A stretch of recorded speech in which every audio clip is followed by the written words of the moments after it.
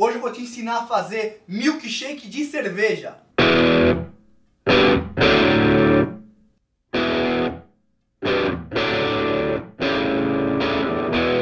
uma receita muito simples e fácil de fazer em casa. Você vai precisar uma cerveja stout, no caso estou usando uma Guinness, 5 bolas de sorvete de creme, bolacha de chocolate e calda de chocolate.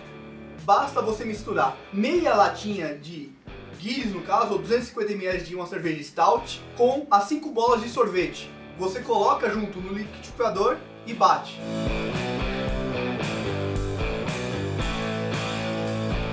Para dar um, um visual interessante e um crocante, coloco duas bolachas negresco. Quanto mais você bate, mais líquido vai ficar.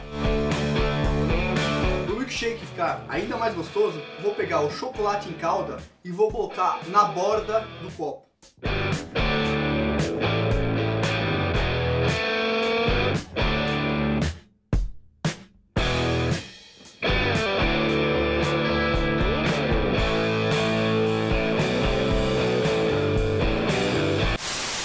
Pronto o milkshake de cerveja.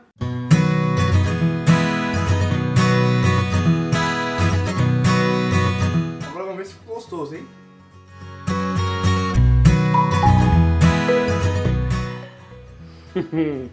ah, tá bom, velho.